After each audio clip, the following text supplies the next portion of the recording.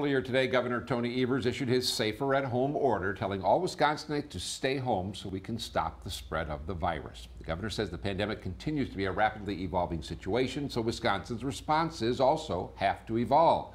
Evers says while the main message of the safer at home order is for people to stay home, you can still go out to get essential supplies as you need them, but you also need to limit interaction to the same small group of people.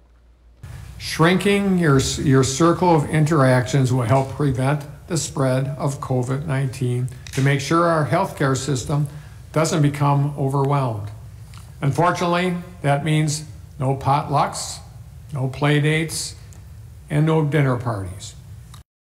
Department of Health Services Secretary designee Andrea Palm says Wisconsin has at least 457 cases of COVID 19 and five people have died.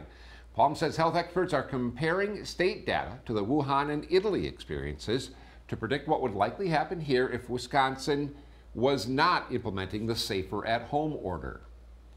The models show us that we would likely have 22,000 Wisconsinites who are positive for COVID 19 by April 8th and an estimated 440 to 1,500 deaths. Palm says it's not easy for many of us to isolate from others, so she urges you not to hesitate to ask for help to maintain your mental well being during this pandemic. Palm also says check on family members, friends, and neighbors and make sure they're also doing okay.